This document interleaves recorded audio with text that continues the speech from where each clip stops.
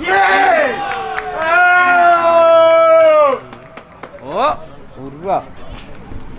Liga Mistrzów daje znać o sobie, nie?